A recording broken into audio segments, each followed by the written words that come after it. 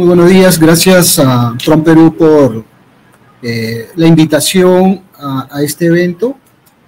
Eh, a nombre de Servicios Postales del Perú, le doy la bienvenida a todos ustedes y agradecerles por el interés de querer aprender y poder integrarse a este sistema eh, que es conocido como Exporta Fácil. Muy bien, vamos a ingresar entonces dando paso a, a lo que es la charla. Eh, alternativa logística para las pymes. Muy bien. Eh, siempre en las presentaciones que yo eh, realizo, ingreso con, un, preámbulo para saber exactamente cómo, cómo fue, cómo era antes del lanzamiento de este sistema eh, haciendo memoria del lanzamiento del año 2007, eh, con eh, cooperación y apoyo de muchas entidades como ProPerú, por supuesto, SUNAT, los ministerios de Transportes, Comercio Exterior y Relaciones Exteriores y otros organismos de, aquel, de aquel, momento, se dio esta, esta facilitación de esta herramienta para todas las, empresas pequeñas, medianas y microempresas del momento. Eh, ¿Por qué el, apoyo al lanzamiento, digamos, de, esta, de este sistema en el año 2007? Era muy importante para, para el gobierno de turno eh, poder lanzar este sistema eh, debido a mucha demanda, mucho requerimiento sí, si bien es cierto, el, empresario que quería realizar una exportación a menor escala, obviamente, eh, fuera del país, eh, era engorroso porque no había una adecuada información. Entonces, al no tener o al no contar con una adecuada información de lo que eh, se requería, sobre todo la documentación que, se, que servía de requisitos para generar una exportación, eh, generaba pues que se realice envíos como una encomienda normal. Pero el problema, la problemática era no directamente en nuestro país, puesto que el paquetito iba a salir de nuestro país sin ninguna observación. El problema era en el país de destino. Eh, muchos países ya tenían una adecuada reglamentación de requisitos aduaneros en, eh, torno a, este sistema de envíos, importación, eh, país de, destino, importación de envíos eh, cuyos montos eran montos mínimos o inferiores, ¿correcto? Entonces, al carecer de esos requisitos, de esa documentación, pues eh, obviamente que la aduana del país de destino iba, a iba a intervenir ese paquete y muchos, muchas veces eh, al no contar con la, con la documentación, iba a generarse eh, el internamiento y, bueno, la devolución al país de origen o en, su defecto cierto decomiso. Entonces, eso es lo que se generaba antes del lanzamiento. Desde el lanzamiento, obviamente que se ha impulsado de, la mejor manera eh, y el primer lanzamiento que le hiciéramos en Chulucanas, en Piura, con estos famosos productos de dicha ciudad, de dicha localidad, con destino a Estados Unidos y, la, el piloto fue el resultado de entrega oportuna en propia mano y esa fue, digamos, el inicio a la fecha de muchos clientes, muchos empresarios que se han acogido a este sistema que tiene una eh, diversos factores y beneficios positivos en torno al empresario para que se acoja a este sistema eh, propiamente la formalización del envío de una venta de un producto al exterior. Va a tener beneficios.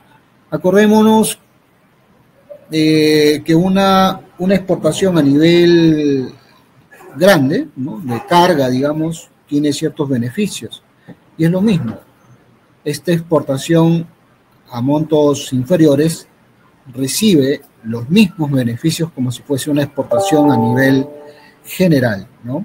Entonces, eh, eso es así. La, premisa que, les acabo de dar es el sistema es fácil, voy a aclarárselos poco a poco, voy a darles algunos tips siempre importantes para todos ustedes para que tengan en cuenta eh, y vamos avanzando poco a poco para, para no aglomerarlos y poder este, tener una, eh, una clara información de lo que es el sistema de fácil. Bien, avancemos entonces, señores.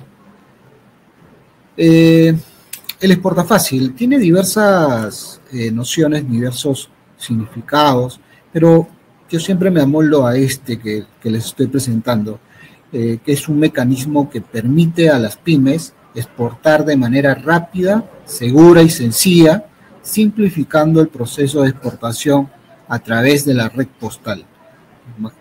Esta parte final es importante y aquí la empresa Servicios Postales del Perú interviene en lo que significa la red postal. Más adelante lo vamos a ver y se los voy a aclarar por qué. Porque acá intervienen no solamente el operador logístico que se atribuye la, la red de, de, distribución, sino también otros, como la fiscalización, que lo genera el control, que lo genera SUNAC o la aduana, PROMPERÚ, que te abre mercado, ¿no? te abre la línea del camino hacia tu objetivo, que es la venta, ¿no? Y nosotros finalmente quedamos la, la operación de entrega, de distribución. Y bueno, en esta lámina yo justamente lo que les había mencionado ya, estas son, digamos, las entidades que intervinieron en la concepción del sistema de portafácil. Eh, en ese momento era la entidad, mi empresa, que era quienes eh, apoyaban con la formalización de las empresas, Perú, obviamente, la Cámara eh, Internacional, la aduana, el Ministerio de Relaciones Exteriores, el Ministerio de Comercio y, Turismo, el Ministerio de Transportes y Comunicaciones y Servicios Postales del Perú. Todas estas entidades unidas a LIRSA, que es la iniciativa para la integración de las infraestructuras regional suramericana, que es prácticamente la concepción, todas estas entidades dieron la concepción de, poder elevar el proyecto eh, traído desde Brasil. El correo brasileño ya lo tenía implementado años antes y fueron estos funcionarios del correo brasileño que vinieron y nos apoyaron con las gestiones del, impulso. Eh, no es fácil llevar un proyecto, ¿no? Pero toda la, facilidad de todas estas organizaciones fueron que del proyecto se dé el lanzamiento oficial en la fecha del año 2007. Ya les indiqué cuál fue el primer envío eh, que se realizó como, como marcha blanca o piloto. Eh, ¿Cuáles son las principales instituciones eh, que, dan la que sirven de facilitación al, al empuje a, realizar el sistema de exporta fácil? En este caso yo, lo, yo casi hace unos momentos lo había indicado, son tres en realidad. El que genera el marco aduanero o normativo, el control, siempre va a ser la aduana. Hoy día está a cargo de SUNAT ¿Y cómo, cómo se genera? A través de una orientación aduanera, se genera el registro de la declaración de exporta fácil en línea, a través de una computadora, a través de la misma página de la SUNAT, eh, se llena esta declaración. Para tal motivo se tiene que generar pues una clave sol con el RUC, ustedes saben, se genera la clave sol y la operación es en línea. Eh, Prom Perú que es quien difunde la, oferta exportadora, promueve las exportaciones y esto es importante, la asesoría sobre mercados internacionales. esa parte de esas funciones son que imparte PromPerú. Y el operador logístico obviamente lo va a generar Serpos. Serpos pertenece a un organismo mundial que es la Unión Postal Universal, que congrega todos los correos a nivel internacional. Vamos a hacer un ejemplo. Si estoy en Estados Unidos y tengo un paquete, ¿no? un paquete, una, compra, una venta, etcétera, y tiene destino Perú, el correo norteamericano lo admite, lo despacha a través de las líneas aéreas que tienen contrato y estas líneas las trasladan hacia Perú y, y Serpos es el ente que va a generar la distribución. Obviamente de por medio siempre va a estar la aduana como fiscalización y control.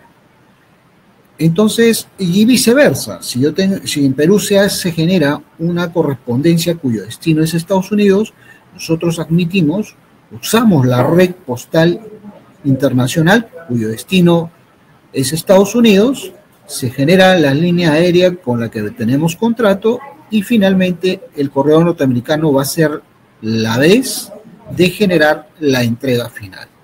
Obviamente, vuelvo a repetir, todas las aduanas a nivel internacional son autónomas y su función principal es el control y fiscalización de todos los paquetes que ingresan o salen de sus países. Entonces, por eso les digo que nosotros manejamos la red postal universal porque tenemos una cobertura internacional a nivel mundial. Todos los correos del, mundo se generan a través de esta, de esta red. Atención descentralizada, el servicio no solamente se maneja en Lima, sino en cualquier parte del Perú. Tenemos clientes en todas partes del Perú. Y tarifas accesibles comparando nuestras tarifas, nuestras tarifas se encuentran en soles. Entonces, acá está la, eh, digamos, toda la estructura general de las principales instituciones que dan la facilitación de lo que es el, el sistema en sí, ¿no? ¿Qué beneficio tenemos? Acá es punto importante. Tenemos ahorro. Si hacemos una comparación con un con una exportación a nivel grande, una exportación montos grandes. Entonces, para tal motivo, lo que va, a hacer el empresario es contratar un agente de aduanas, ¿correcto? Y el agente de aduanas va a hacer toda la operación logística de, del trámite de exportación. En este caso no. Esa operación la van a realizar ustedes mismos. Si ustedes van a hacer toda esa gestión que se realiza a través del agente aduanero. ¿Cómo? Hace unos momentos les dije que deben contar con un RUC. Deben haber creado su Sol, ¿no? Ingresan a la página web de la SUNAT e ingresan a la declaración de exporta fácil y en línea comienzan a llenar los datos respectivos que se requieren en ese formato. Una vez llenado, imprimen los seis juegos y ya prácticamente están generando la formalización de la exportación. La formalización promueve la, eh, las pymes proceder con beneficios tributarios.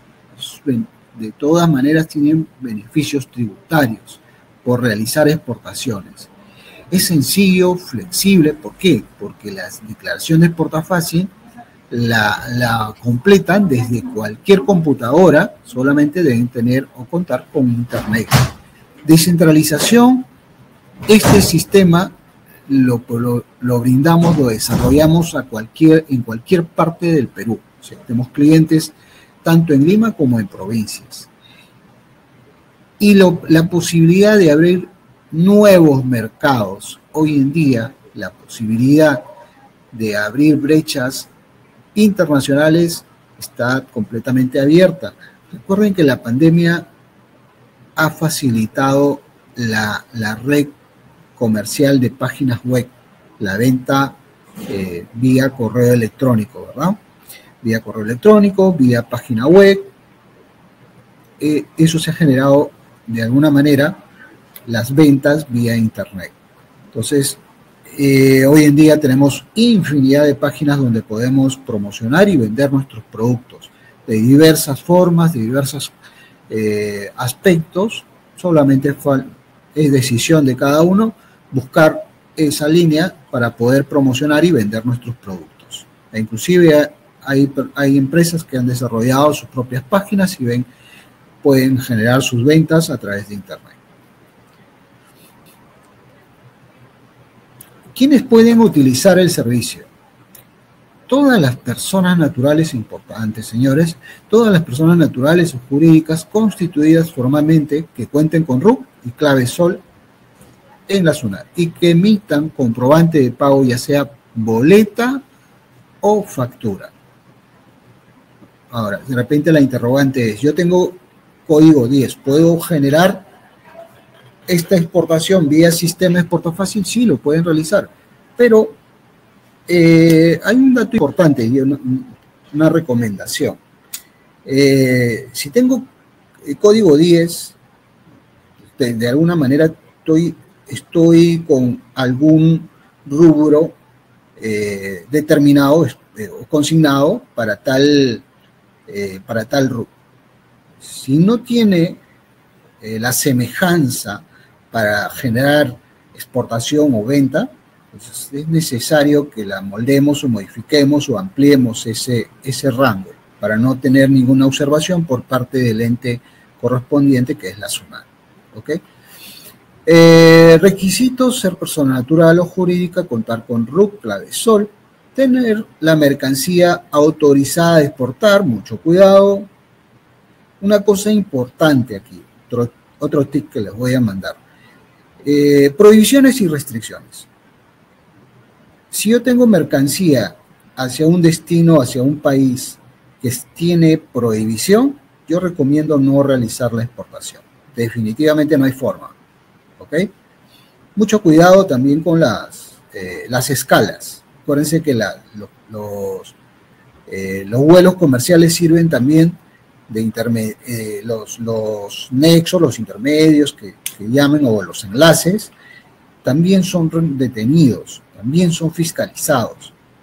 hay mucho cuidado, hay que, hay que tener información de cuáles son las escalas, cómo se maneja para que de repente en ese país que sirve de enlace, que sirve de escala, no tenga ninguna intervención, no tenga ninguna prohibición, porque si no, mi mercancía no llega a destino final.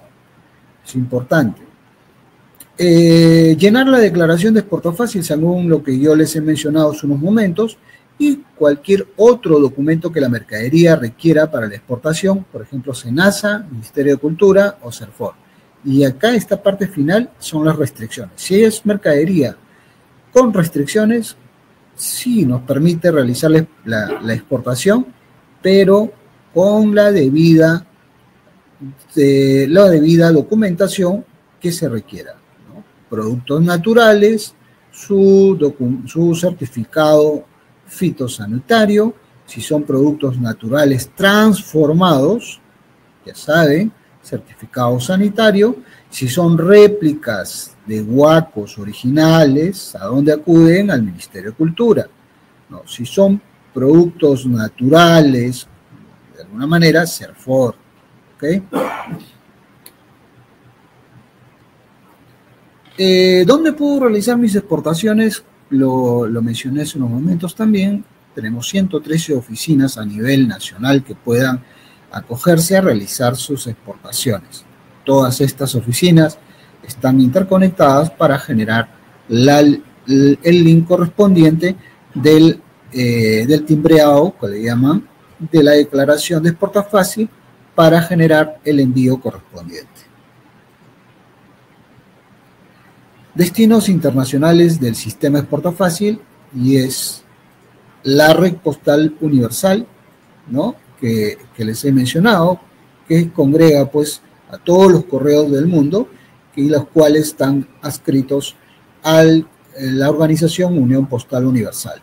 Y estos congregan más o menos 192 países a nivel mundial. Vamos a abrir importante esta lámina, esta es una fuente de la misma SUNAT, principales productos. y acá encontramos que los amigos textiles son los que mayormente utilizan este sistema. También tenemos juguetes, muñecos, cuadros, horquillas, partes de vehículos, de motocicletas, de bicicletas, artículos para fiestas, carnavales, eso, bastantes clientes hacen el envío, sobre todo de piñatería, este, eh, disfraces, también hacen bastante el envío, ¿no? Eh, productos como artículos de joyería, de plata, también hacen, el, no hay ninguna restricción, punto importante. A través de este sistema pueden realizar el envío de estos productos como de metales como plata, etcétera, son eh, eh, metales preciosos que les denomina. Pero si lo quieren hacer como un envío normal, no es porta fácil, un envío común, está prohibido, no lo van a, no lo van a admitir. Eh, abriendo mercado también, esto le va a servir a ustedes. ¿Cuál es el mercado importante en estos momentos que actualmente hacia dónde, hacia dónde se está enfocando las exportaciones? Si no vamos a ver, miren, fíjense cuáles son los países a los cuales se, se vende más. Y Chile, miren, es importante ese mercado chileno. Estados Unidos son, son los principales mercados que podemos verificar de las exportaciones a través de estos sistemas. Y bueno, luego tenemos otros tipos, otros países adicionales, pero los dos países principales son Chile y Estados Unidos.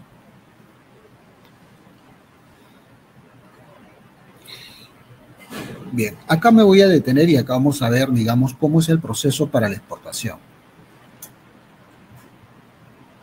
Lo primero que debemos tener es el RUP, ¿correcto? Ingresamos la clave SOL que ya lo han creado a través de la página web de la SUNAT. Ingresamos a la página web de la SUNAT. Luego nos damos la opción hacia registrar exporta fácil y en la página de la declaración hacemos el llenado correspondiente de toda la declaración de exporta fácil. Imprimimos en seis juegos, ¿correcto? Embalamos adecuadamente, correctamente la mercancía o la mercadería, acuérdense que hoy en día ya no hay disculpa. Tenemos en el medio, en el mercado, diversos insumos que nos facilitan el, el adecuado embalaje. Antes sí estábamos limitados, pero hoy día hay tiendas especializadas en embalaje. Embalamos adecuadamente, contamos ya con los seis juegos de, la, de las declaraciones de portafácil, adjuntamos el comprobante de pago, ya sea boleta o factura, importante, en la boleta o factura no se desglosa el IGB, señores, en materia de, eh, de exportación, monto total, monto final, no se desglosa el IGB, el IGB es un impuesto de venta nacional, estamos internacionalizando el producto acuerdo? Importante también el, trabajo de la venta, generarla en moneda dólar. el producto de la venta en estos comprobantes debe estar dolarizado. Y luego de ello nos acercamos también, bueno, si hay, recuerden, si hay una restricción, hay que acompañar los certificados del caso. Luego de todo ello, nos acercamos a cualquier oficina de Serpos eh, con el envío, la declaración de los seis juegos, como le he mencionado, su comprobante de pago, eh, los certificados de ser el caso y solicitamos o eh, consideramos con qué, con qué modalidad de servicio, que son dos modalidades de servicio que cuenta Serpos para realizar el envío correspondiente. Tenemos dos modalidades de servicio, que es el servicio económico y el servicio expreso.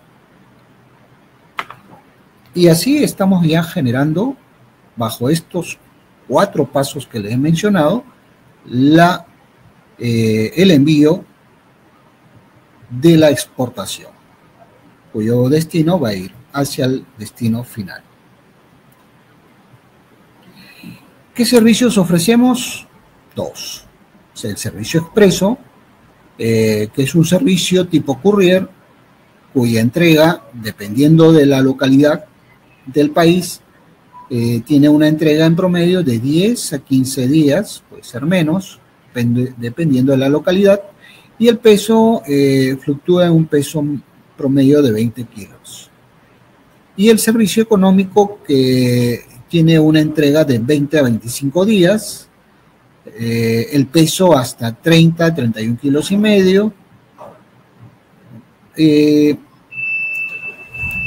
se puede manejar, es importante acá manejar eh, el tiempo. ¿Por qué? nosotros tenemos el contacto y podemos asegurar la urgencia de que el comprador requiera de la, recepción del producto. si, el, comprador dice, ¿sabes qué? Normal, eh, tengo, no tengo la urgencia, me la llegar por el servicio económico y puedes reenviarlo por el servicio económico. Pero si tiene la urgencia del caso, vamos a tener que recurrir por el servicio expreso. Entonces, ahí hay una forma de poder, dentro de las negociaciones que tenemos con el comprador, de poder ver a través de qué modalidad la debo, debo generar el envío. Eh, quiero de alguna manera asegurar el producto, ¿no? Mm, en ese caso hay una posibilidad de hacerlo. Si son productos mercaderías comunes, pagamos el 1% más el IGB sobre el, monto declarado, valor FOC declarado. Si son productos o joyas biosimilares, el 3% más el IGB sobre el valor o, el monto declarado. Entonces, de alguna manera voy a asegurar el producto.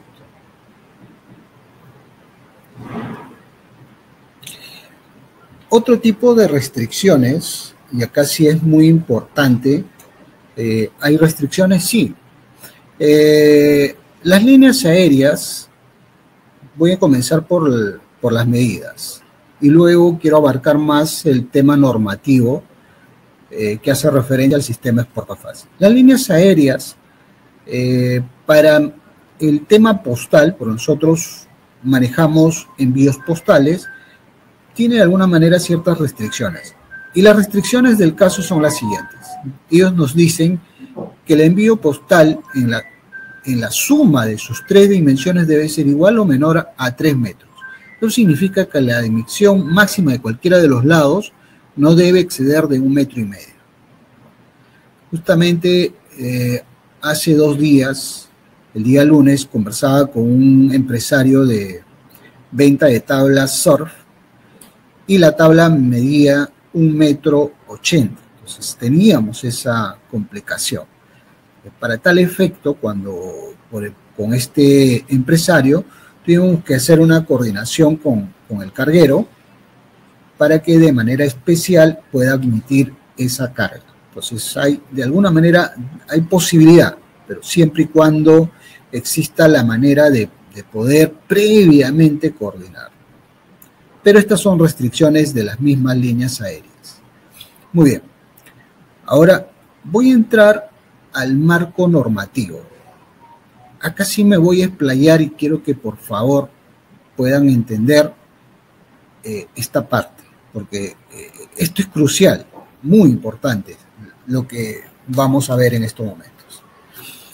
Muy bien, la norma del sistema exporta fácil me dice eh, que para el envío en materia del sistema me permite realizar una exportación con un valor máximo de 7.500 dólares por declaración de exportación. O sea, yo puedo realizar, eh, puedo generar exportaciones con un monto máximo de 7.500 dólares por declaración de exportación. No hay un tope, no hay un límite. O sea, yo puedo generar las declaraciones de exporta fácil, significa las exportaciones que yo requiera, en un día, eh, interdiario, etcétera. No hay limitación. La norma no, no, es limitante. Si te restringe el valor máximo, te dice hasta 7.500 dólares. ¿no? ahí es importante determinar que esta norma es de carácter Perú. No tiene ámbito internacional. O, ¿qué pasaría? ¿Cómo es, cómo es el, tema? Se van a preguntar ustedes. Si voy a ampararme ante la norma eh, explícita, de acuerdo al enunciado, yo voy a generar una venta cuyo monto es 7.500 dólares, estoy dentro del marco de la ley, ¿no? Hago el despacho según las características determinadas, los requisitos exigidos, eh, y va a salir, ¿no? Se va a admitir el producto o el envío, se va a despachar y va a salir al país de destino. Y es más, va a llegar al país de destino. Acuérdense lo que les mencioné al comienzo. ¿Quién va a controlar, quién va a fiscalizar? Es la aduana. Entonces, lo, quien va a fiscalizar o va a controlar ese paquete es la aduana del país de destino. Entonces va a, va a intervenir tu paquete y cuando vea tu comprobante de pago, ya sea boleta factura, que el monto es por 7.500 dólares, te va a decir, no, un, un momentito, eh, este paquete, ¿no? de este paquete, usted, importador o comprador o destinatario, no puede retirarlo. Debido al monto, va a tener que generarse a través de un agente de aduanas. ¿Pero por qué? Yo soy el, el, comprador, yo soy el destinatario, ahí está mi nombre. Y ahí viene la interrogante. ¿Por qué exactamente? Porque el monto en ese país es inferior a los 7.500 dólares. Es muy importante entonces, señores, si, si es que el, el comprador suyo le dice no hay problema, envíamelo más, yo voy a contratar el agente de, de, aduanas, el broker, para que haga el trámite, le voy a pagar sus 150 dólares o sus 200 dólares que corresponde a realizar el trámite y listo, no hay problema. Si es así, y vuelta a quedar, ustedes hacen el envío. Pero si no quieren que ocurra el, eh, esta, este, este aspecto, esta parte, entonces, ¿qué es lo que tenemos que hacer? Voy a regresar a la norma. La norma me dice hasta 7.500 dólares. No hay, limitante, no hay limitante de generar N cantidad de declaraciones, ¿correcto? Ahora, usted me dice, ¿no? yo Sixto Mondragón le digo, de que los montos máximos permitidos en, de, a nivel mundial entre todos los países no es único. Cada país maneja montos distintos. En Estados Unidos eh, es variable. lamentablemente las normas aduaneras son cambiantes. Hoy día tienes un monto así, así, tan igual como pasó con Perú. Empezamos con mil dólares, dos mil, tres mil, tres mil quinientos, cuatro mil, cuatro mil quinientos, cinco mil y miren, ahora estamos en siete mil quinientos dólares. Entonces es igual a nivel internacional. Entonces hay que saber cuánto es el monto. En Estados Unidos me parece que está entre 800 y 1000 dólares. Colombia 400 a 600 dólares. Entonces, la comunicación, regla clara, regla básica, ¿no? Comercio internacional. hay un comprador, hay un vendedor, ¿correcto? De por medio está el producto. La negociación es básica, es es base importante para que se realice una adecuada venta. ¿Correcto? Entonces, ahí tenemos que dialogar y para que el, en este caso el comprador nos apoye con ese monto. Si en Estados Unidos ustedes me dicen, oye, es mil dólares y me estás generando una compra de seis mil dólares, eh, sí, pero yo no quiero correr con el tema de pago de, agente de aduanas, 200 dólares y me sale caro, pues no, no, no hay forma. Ya, mira, tengo el producto, lo puedo partir, ¿cierto? Entonces te voy a generar varios despachos. Ya, mano, no hay problema, mándame los despachos separados y listo. Entonces yo genero varios despachos. Para tal efecto, ya no van a ser los 7.000 o 7.500 dólares, sino si son 1.000 dólares en Estados Unidos, yo generaré cuántas declaraciones, cuántas exportaciones, 6 o 7 u 8. Para tal efecto, los comprobantes de pago se tienen también que dividir, ¿correcto? fíjense bien la línea. La línea es una venta que corresponde a un comprobante de pago va a generar una exportación, debe haber una declaración de exportación. Entonces, esa es la línea. Un comprobante, una declaración de exportación.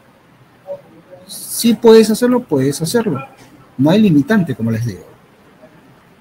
Sí, pero me va, de todas maneras lo voy a hacer seis exportaciones en un día. Es, bueno, genéralo en tres días. Personas distintas o a la misma persona, pero en días distintos.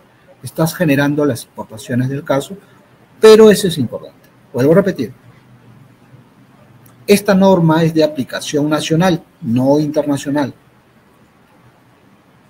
Y es un punto importante, por ejemplo, y este es un caso real. Esto me pasó hace mm, cuatro años. Me contactó una mm, empresaria de Gamarra que fabricaba polos y tenía ya una venta realizada con un, comprador en Colombia. En ese momento el monto eh, del tope estaba con cuya liberación directa estaba en 600 dólares. El producto que la señora tenía, la venta estaba generada por 1.200 dólares. El peso total de la mercancía, eran polos, eh, eran más o menos, abarcaba entre 50 y 60 kilos, me parece. Entonces, me llamó, me contactó, me dijo qué podía hacer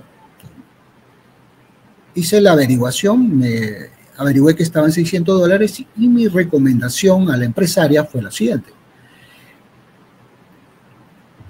Que parta la venta en dos comprobantes de pago, 600 dólares cada uno. Y los 50 o 60 kilos de polos también los parta como si fuesen dos ventas. Ahí no habría ningún problema. Estaba generando dos exportaciones, dos ventas, dos exportaciones. Y estaba dentro de la normativa peruana y de la normativa colombiana. ¿Me entendió la señora? Perfecto. Pero, pero a la hora de realizar el trámite correspondiente, se echó a marcha atrás y realizó el envío a una sola, a un solo comprobante, a una sola exportación. Salió del Perú sin ningún inconveniente, ¿correcto? Eh, lo que sí recuerdo que partió los paquetes en dos o tres. Partió dos paquetes, creo que hizo. Llegó a destino y, como es el caso, le intervino la, la aduana y le dijo al comprador que él no podía retirar el producto, tenía que contratar un agente. La agente le costaba en ese momento 100 dólares. Así que quien tuvo que correr con el pago de los 100 dólares tuvo que ser la, la, empresaria de acá del Perú. Y es porque no me hizo caso, lamentablemente. ¿Se dan cuenta? Entonces, es importante las facilidades que se dan al respecto para poder generar las exportaciones. No hay, no hay una, un limitante para generar exportaciones. Más adelante voy a dar algunos casos, algunos ejemplos para que ustedes puedan ver. Muy bien, espero que haya quedado claro esta parte. Es importante conocer los montos en, los países a donde vamos a realizar la exportación. Eh, por el momento no admitimos productos perecibles, eh, tampoco las mercaderías prohibidas, como les he dicho en el caso de patrimonios culturales, armas de fuego, animales en peligro de extinción, así como drogas y otros productos. Mercaderías restringidas y que no cuenten con la autorización del sector correspondiente, como réplicas de patrimonio cultural, flora y fauna en peligro de extinción. Por ejemplo, el palo santo ya está, nuestros algarrobos ya se están extinguiendo. Hay una, hay una prohibición ya de, me parece, eh, hay una entidad, OEFA me parece, o CERFOR, que ya, ya ha puesto restricciones sobre ese producto eh, personas naturales o jurídicas con RUC y clave SOL se excluyen cooperativas y asociaciones.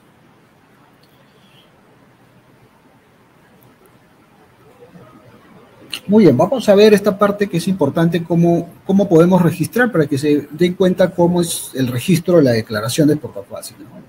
Esta es prácticamente la página web, cómo ingresamos a la declaración de portafolio ya saben lo que mencioné, el, RUC, el usuario, la contraseña, que es lo que le piden al momento de generar su clave sol. Luego nos dirigimos hacia la parte eh, de operaciones de comercio exterior y ahí está, portafolio. Como Una vez le dan clic y automáticamente le va a salir los campos correspondientes de la declaración de portafolio, lo cual está consignado entre cuatro o cinco campos. El primer campo del registro de la declaración de exporta fácil, lo están viendo ustedes, datos del exportador. Acá sí es importante, tienen que llenar los datos precisos, exactos, sin ningún error, porque si no, ahí vamos a tener problemas. Los datos del exportador, eh, su RUC, la dirección exacta para no tener inconvenientes, eh, país, ciudad. estos datos son importantísimos, no nos podemos equivocar, por favor estos campos que estoy eh, presentando en este momento no puede haber ningún error. Olvídense de los errores, verifiquen adecuadamente, verifiquen una o dos veces para que mm, se constate de que está todo ok. El segundo campo son los datos del importador. De igual manera, los datos tienen que ser precisos, no pueden haber errores. Por eso genera eh, contratiempos y gasto, en perjuicio obviamente de ustedes.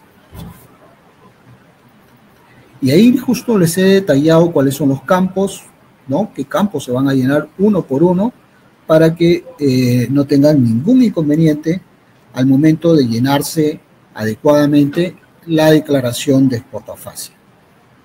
El segundo campo, registro la declaración de exportación. Y fíjense en la parte superior izquierda, cantidad de bultos. Importantísimo, por favor, que verifiquen ese campo, cantidad de bultos. ¿Ok? La moneda del dólar, importante también lo que les he mencionado, tienen que trabajar en moneda de dólar. Todo lo que son exportaciones, dólar, por favor. Y luego la, acá se maneja ya la descripción de la mercancía, eh, eh, también la partida, la subpartida arancelaria, etcétera, ¿no? Los regímenes, los números del comprobante de pago, el régimen de la aduana, obviamente la aduana postal.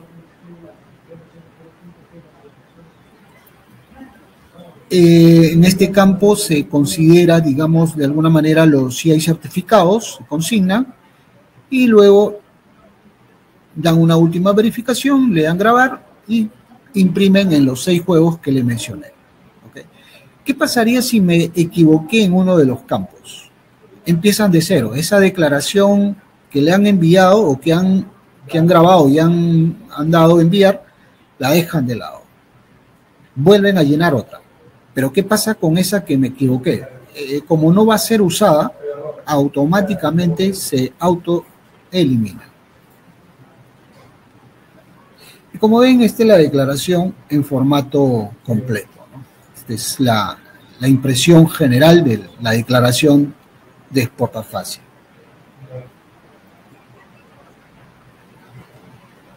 Vamos a ciertos casos prácticos. El primer caso práctico creo que les he mencionado, ¿no? Es una línea evidente. Una exportación, una declaración de exporta fácil, se pueden preparar varios bultos que no excedan 30 kilogramos cada uno. ¿Se acuerdan de la ventanita superior izquierda que les había mencionado en el tercer eh, campo de la declaración de exporta fácil? Ahí se consigna. O sea, si mi envío tiene un valor, pongámosle, de mil dólares, pero pesa 50 kilos, parto en dos los, paquetes. En uno, consigno, adhiero los documentos originales y al otro le saco copia a los documentos originales y le adhiero al segundo paquete. No puede viajar ningún paquete sin documentación. Y ahí estoy yo formalizando mi exportación adecuadamente. Acuérdense, un comprobante de pago, una declaración de exporta fácil, siempre en esa línea. Caso práctico número 2. Tengo un valor de 7.500 dólares y un peso de 40 kilos. Recuerden bien lo que les he mencionado, si el, comprador va, a contratar su agente de aduana, le envían el paquete, el envío, con los 7.500 dólares, y en este caso el peso lo puedes, si se pudiese partir el envío, ¿no? Ah, generan dos envíos de 20 kilos.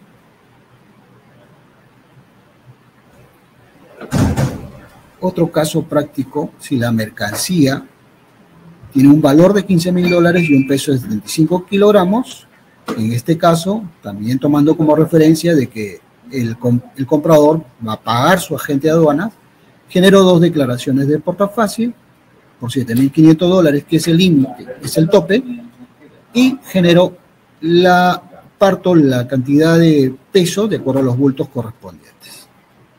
Estoy dentro del marco normativo que establece el limitante del monto. Caso práctico número 4, eh, la mercadería con un valor de 1.200 dólares, ¿no? Y un peso 75 kilogramos. Y es el caso de Colombia, por ejemplo. Caso práctico de Colombia. Y es la recomendación que yo le hice a, a la empresaria de Gamarra, ¿no?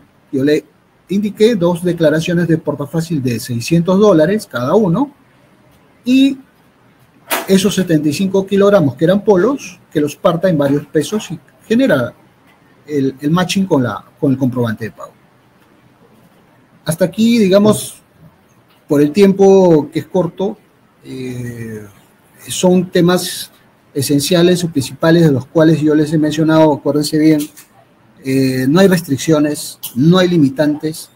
Ya les he mencionado siempre eh, lo que establece claramente la norma de aquí del Perú frente a las normas internacionales de cada país. ese dato es importantísimo para ustedes. Eh, las brechas del mercado, de cómo promocionar y cómo vender sus productos, nuestros amigos de Prom Perú dictan diversas charlas sobre esos esquemas. Hoy no hay eh, digamos, una limitación de que no existe, cómo puedo hacer, no, no hay, no, hay. Ustedes pueden googlear y pueden obtener información de qué páginas poder tener recomendaciones. Eh, eh, claro, obviamente les va a costar unos más, unos menos, pero eso es dependiendo de cómo pueden difundir su, su producto a nivel internacional de la mejor manera. Hay, digamos, páginas eh, que se encargan ya masivamente, que tienen eh, un, un, empoderamiento internacional mucho más amplio, le va a costar, pero costo-beneficio, es importante manejar esa parte. También les he mencionado eh, los requisitos, recuérdense bien lo que les he mencionado, los requisitos que son eh, productos prohibidos, que son productos restringidos. Si son productos prohibidos, no generar eh, la, exportación y ese, ese dato es importante conocerlo a través de la negociación que se realiza con el comprador. Acuérdense de por medio reglas claras y básicas de una adecuada eh, venta. El hecho de generar la venta no significa que ya obtuve la venta y, por medio la retribución económica, sino el hecho es que el producto llegue a destino en óptimas condiciones y perfectos. Entonces ahí ya está generando una venta adecuada.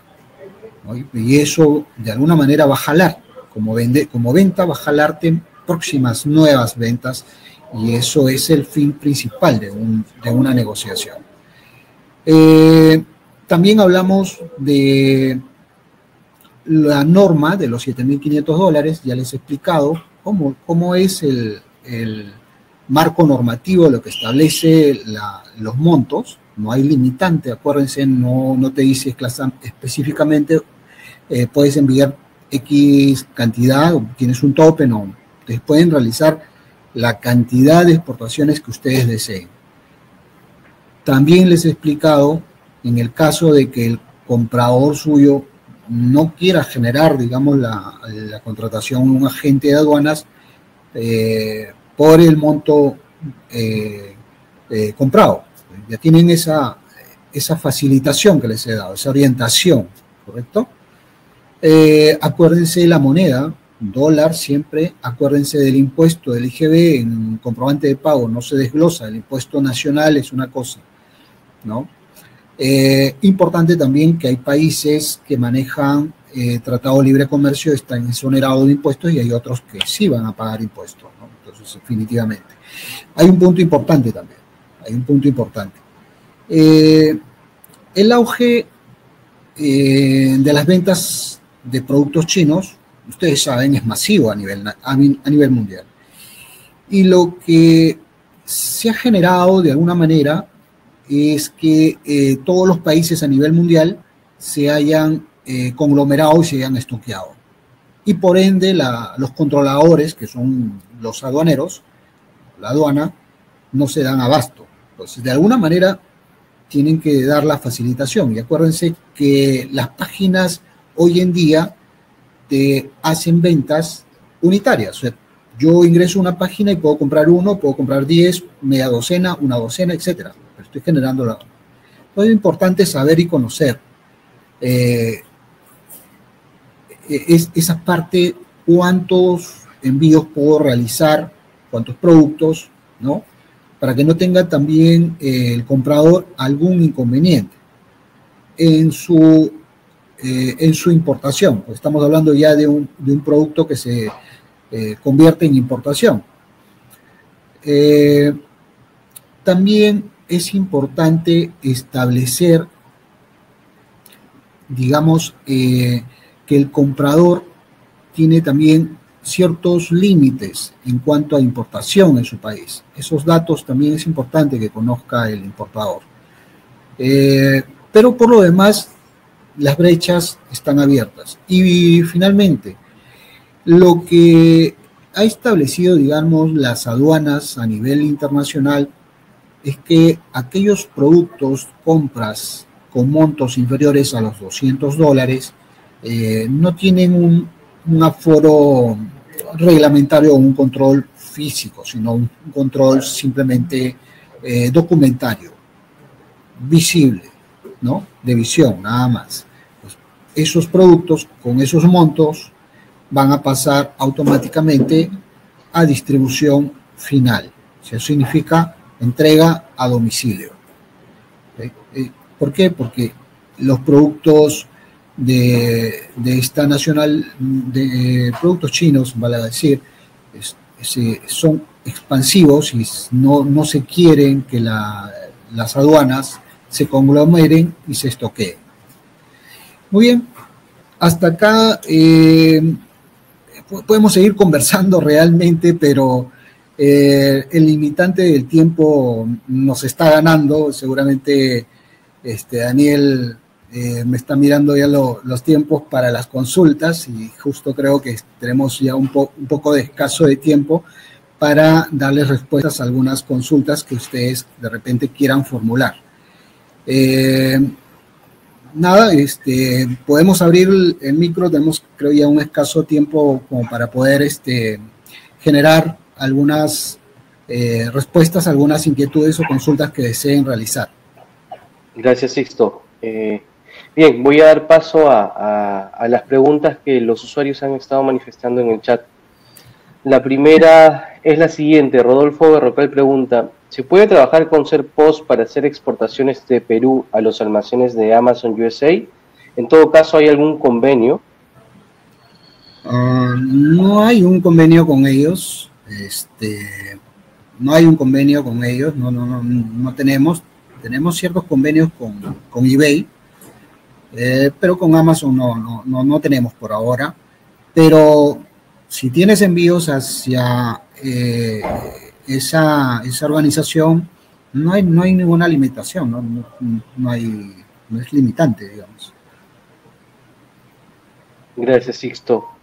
Eh, María Villanueva pregunta, si estamos en el RUS, entonces no se podría exportar por exporta fácil. No, sí lo mencioné. Eh, el RUS es el código 10, claro que sí. Eh, recuerden lo que les también les indiqué. el código 10, de alguna manera, tienes un rubro determinado por la SUNAT, por lo que tú has consignado en, en el formato de inscripción, ¿correcto? Entonces, ahí es importante establecer si ese rubro que yo he consignado para la creación del, del ruso, ¿no? O del RUC, eh, tiene la semejanza para lo que es la venta o la exportación. Si no la tiene, pues este, actualicémosla. Gracias, Sixto. Alicia pregunta, ¿puedo enviar hierbas secas como por ejemplo boldo, flor de arena, cuticuti, entre otras? Sí, si son productos secos, sí, con la...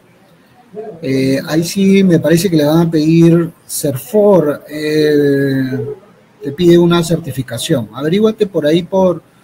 Eh, googlea un poco a través de esa página para ver qué, este, eh, qué certificación se requiere uh, o en su defecto eh, escribe a exportafacil.sunat.gov.pe pidiendo información al respecto sobre esos productos. Gracias, Sixto. Eh, Carmen María Quevedo pregunta, ¿Serpo siempre utiliza el servicio aéreo o puede ser también marítimo?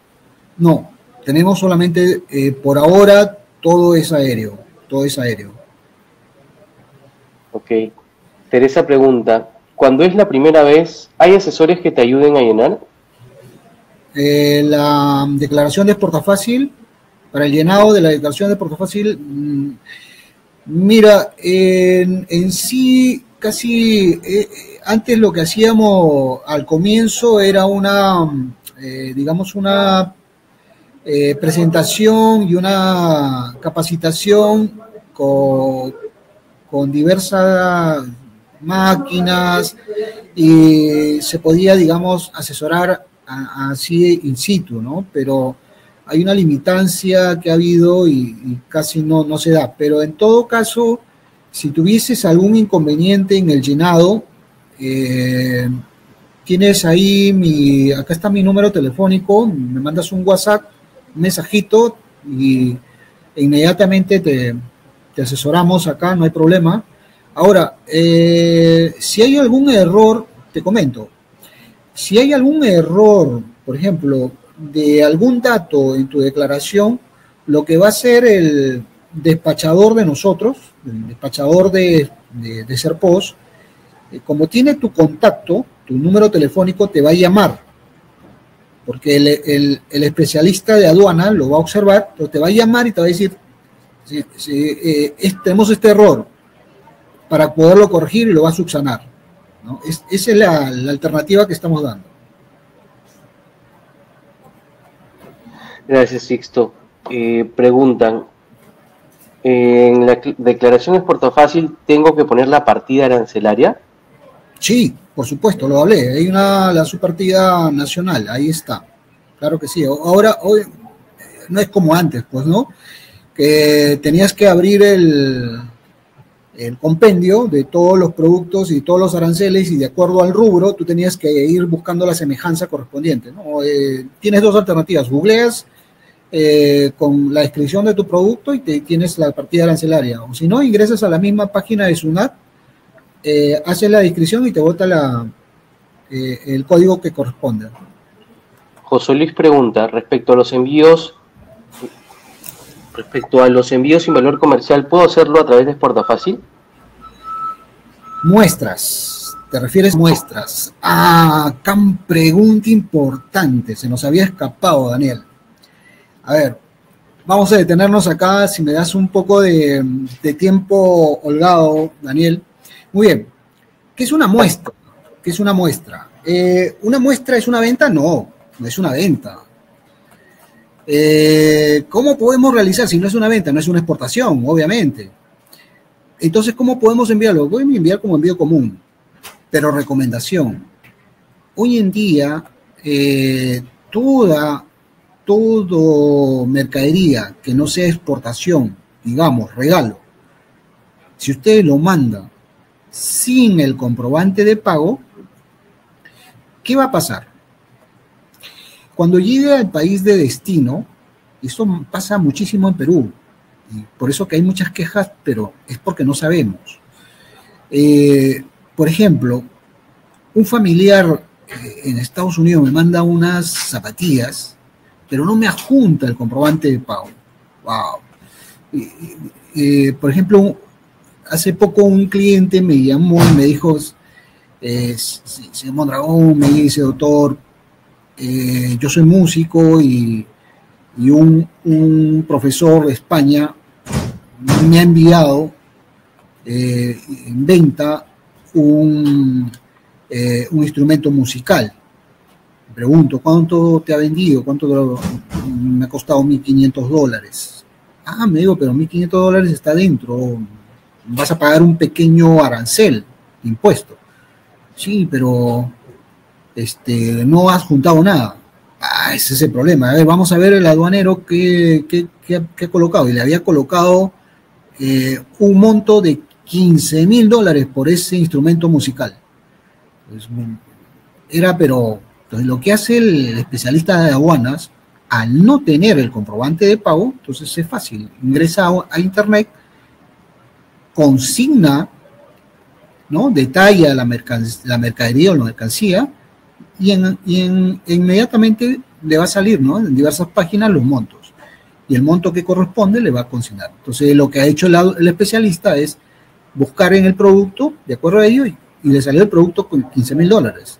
Pero no se había percatado que el producto era de segunda mano, no era nuevo. ahí había un error. para evitar eso, pues tiene que siempre, así reciban un regalo, un comprobante de pago, para que no tengan problemas. Porque acá en el Perú recibimos en, el almacén de aduanas infinidad de mercancías que no tienen comprobante de pago. Entonces el, especialista coloca el monto y ese monto a veces es superior a la realidad de la, compra que se ha realizado, pero no es culpa del, especialista de aduanas. Entonces, ¿qué es lo que pasa? Simplemente la gente no lo, eh, no lo retira, lo abandona. Eh, entonces, Recomendación, toda mercancía con su comprobante de pago. Ahora, vamos a la, a la pregunta. Eh, ¿Una muestra es una exportación, es una venta? No, no es una venta.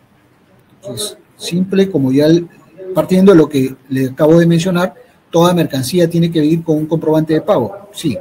Entonces, en su, comprobante de pago tiene que ir eh, muestras sin valor comercial. Sí, pero la, la SUNAT ha emitido un pronunciamiento que todo comprobante no puede ir con una nominación o con, un monto declarado cero. Entonces, ¿qué hago? Entonces, simplemente deben consignar, si no, es una, si no hay una retribución económica y, y el ente correspondiente exige que si yo estoy emitiendo un comprobante de pago y tiene que haber una nominación, entonces agreguen el costo, ¿no? El costo, el costo, ojo, la mano de obra, no sé, del producto, o sea, un monto mínimo en todo caso. Y lo envían como un envío común. No exporta fácil, no es exportación en este caso. ¿Ok? Muy bien, Daniel, seguimos entonces. Gracias, Sixto. Eh, ¿Cómo se factura? ¿Con IGB o sin IGB? Ah, también lo aclaré. Caramba, no estuvieron atentos. Eh, no, el IGB es un impuesto local, es un impuesto nacional. No es internacional, no se aplica internacionalmente. El impuesto que se aplica en materia de exportación o importación son los aranceles. En este caso, en la factura o en el comprobante de pago, si ustedes el producto lo están vendiendo en 100 dólares, el monto total debe ser 100 dólares, no hay ningún desglose. ¿Seguimos, Daniel? Sí, de acuerdo, gracias. La última de Leonardo Carguancho, ¿cuáles son los convenios con eBay? Mm, mira, eh, eh, eso lo podemos conversar la interna. Eh, generalmente no, no, tengo mucha la información al respecto, pero lo que hace eBay es generar sus propios socios, ellos llaman socios, entonces hace que se registren ¿no? a través de su plataforma para que puedan generar su sus envíos y eh, la presentación de sus promoción y venta de sus productos. Eso es. ¿no? Eh, eso lo puedes ver también en la página, me parece que en la página de Serpos eh, hay información al respecto. Trata de ingresar a las dos páginas, o si no a la página de Serpos y ahí vas a encontrar información respecto a lo que es la, ser socio de eBay. sí, bueno, es lamentable que poco tiempo que tengamos, eh, ha faltado, bueno, gracias a esta última pregunta que se nos había pasado, este, e, esta parte de las muestras, eh, por ejemplo, el envío de catálogos, ¿no? Hoy en día, cuando uno quiere realizar este, una venta, te piden catálogos, las muestras, etcétera, y hacen los envíos, ¿no? Entonces, eh, la aduana al respecto tiene cierta reglamentación si ustedes dicen, no, pero es una muestra, no la, no la vendo, pero regla general. Eh, ahora en las páginas de diversas eh, entidades te, muestran el producto y tú puedes comprar uno, dos, tres, cuatro, cinco, lo que tú desees. Entonces, las aduanas, cuando tú envías un producto, uno, te dice, oye, esto es una muestra, cómo yo, yo, pónganse del lado del especialista de aduanas, cómo yo puedo cerciorar de que esto es, una, es un envío de muestra. El producto está correcto por ambas partes, no puedo aseverar de que sea una muestra. Entonces la aduana te dice, eh, oye, si, tú pretendes realizar el envío de una muestra, para el caso de polos, el dorso tiene que venir hueco, ¿no? Sea, hueco. Yo soy confeccionista de calzados, zapatillas, eh, slacks, ¿no? sandalias. Quiero enviar una muestra, me está pidiendo un cliente en, Alemania. Ya le estoy enviando el, par, ahí está el par. Pero yo puedo asegurar que ese par es una venta o es una muestra. ¿Cómo, cómo asevero? No? Entonces es muy subjetivo. Pues te dice, no, envíame ¿El izquierdo o el derecho? Ya no. Quiero enviar los dos. Pues, la planta hueca, tiene que venir hueca. ¿No? Eh, envío de telas, muestra de telas, igual. Simplemente para que sea una muestra en una hoja BON tamaño A4, eh, en ese tamaño consignan el tamaño de la, de la tela que quieren enviar.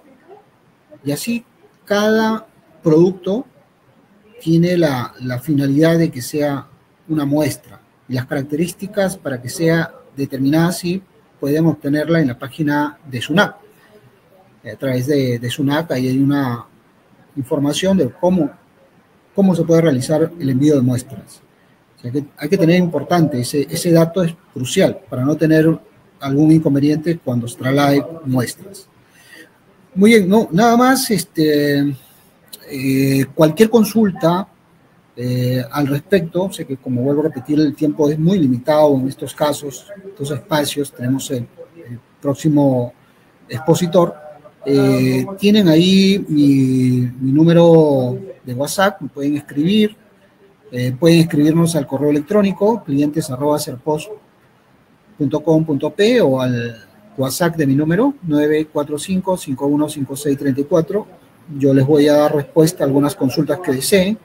Si quieren obtener información ya para realizar exportaciones, me, llaman para brindarles alguna alternativa de tarifas eh, y puedan realizar sus exportaciones de alguna manera eh, segura.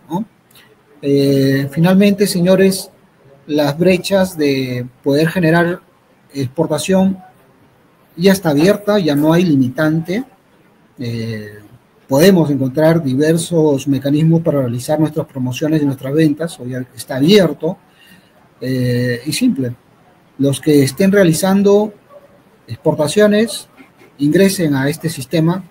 Ya tenemos una gran cantidad de clientes que vienen trabajando con este sistema, lo acabo de presentar en dos formatos de esta, de esta presentación, agreguen eh, a este grupo de, ya de clientes que se han eh, eh, impulsado ya con este sistema, tienen los mismos beneficios de, una exportación grande, beneficios tributarios como les había mencionado, y si también se pueden acoger al sistema del drawback, ¿no? El sistema del drawback, ya saben, que también tiene beneficios tributarios. El 5% de insumos de la eh, finalización del producto, que va a ser materia de exportación, si ha sido importado, se pueden acoger a este sistema.